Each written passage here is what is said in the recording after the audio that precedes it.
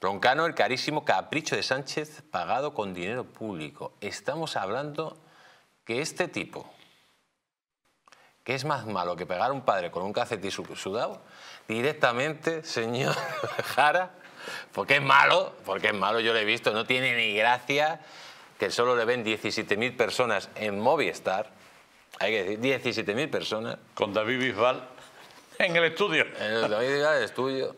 le vamos a pagar 28 millones de euros que salen de su lomo, del de Fran Simó, del mío y de toda la gente que nos está viendo. Esto, yo no sé, pero ya es, es, es para, para quemar las calles. Es que hemos visto todo el programa de, de, este propio Estado, en vez de respetar el Estado de Derecho para dar ejemplo, es que hacen todo lo contrario y además con una, de una forma ya tan, tan burda, tan chusca. El, otro día, cuando salta un poco la noticia del informe de la abogacía del Estado, va a decir que la, mayoría absoluta de 8 no es 5. Mm, oiga, pero vamos a ver, usted es abogado, pero no, no, no, aprendió a sumar en la escuela. ¿eh? Entonces, es todo, es todo como una pesadilla, ¿no? Eh, eh, o sea, te pones a imaginar un escenario horripilante y te quedas corto. Te parece, todo te parece una eh, novela de Julio Verne comparado con lo que está pasando. Pero lo peor es que el pueblo sencillo, el que paga los impuestos, el que madruga todos los días, el que tiene las sienes blancas de trabajar, de aguantar, pues se conforma con eso, un partidito, un porrito, una cruzcampo, una mao, y aguantar lo que nos echen. ¿Qué ha quedado del pueblo español del 2 de mayo? Que cuando el francés te pisa la cabeza, te matan, pero te matan con dignidad. Se rebrincan, te levantas. O sea, no te resignas a morir sentado. Y esto es lo que tenemos que hacer.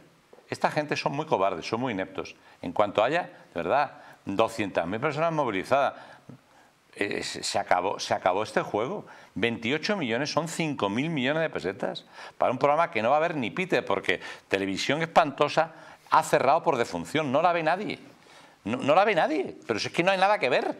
Se salva algún documental que compramos hecho para, el segundo canal, para, para la segunda.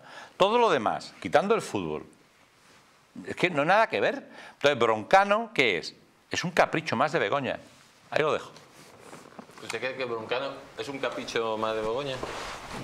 Pues no sé si de Begoña o de Begoño, yo ya, uno no sabe muy bien qué pensar, pero desde luego lo que eso es una vergüenza. Lo mejor es, que, le gusta Broncano a ella y le ha dicho, Pedro, fíchale. Pues probablemente, pero, pero lo peor es que eso se hace con nuestro dinero. Televisión Española habría que cerrarla. O sea, así de fácil.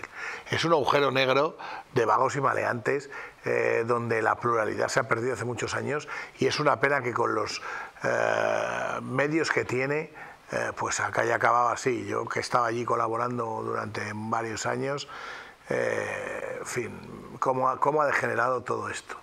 Pero, claro, hay que entender que Broncano es seguro que está hecho para la audiencia de televisión española.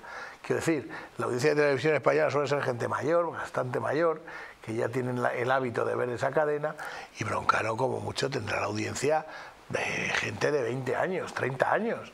Entonces, no sé qué pinta ahí. Claro, yo comprendo que, que lo haya, lo haya fichado. Claro, lo haya fichado para contrarrestarle a potencia y cargarse al del hormiguero. Otro que vamos, cargarse al del hormiguero como si el del hormiguero. Es imposible. No, pero que es que además le conozco. el hormiguero le quita, Está el otro día con él. es una máquina. Es una, o sea, pero Pablo Motos es, es, insuperable. ¿Pero qué pasa? ¿Que Pablo Motos no le gusta a Begoña Gómez? Debe ser que no es su tipo. No, que no le gustan los pelirrojos. Los pelirrojos listos, que son empresarios y encima son buenos jefes. Esto es demasiado fachoso. La fachosfera. La fachosfera. Está la fachosfera y la codosfera. ¿En qué ¿eh? El broncano este, que no le conocen ni, en su casa, va a ser aquí... Pero si he tenido que mirar de quién era la foto. El negocio de su vida. No, no, pero vamos a ver, este chaval se va a retirar. Se retira eh, en cuanto quiera. A Dominicana. Pero, a Dominicana. A Dominicana. Pero, pero. Allí vamos a tener a Dominicana todo, vamos. Pues, eh, hay una parte que no está mal. A ver si se van todos a Dominicana y nos dejan tranquilos. Hundirán Dominicana y a lo mejor solo vamos a España. Claro, claro, pero si se va contra el dinero de España, mal vamos.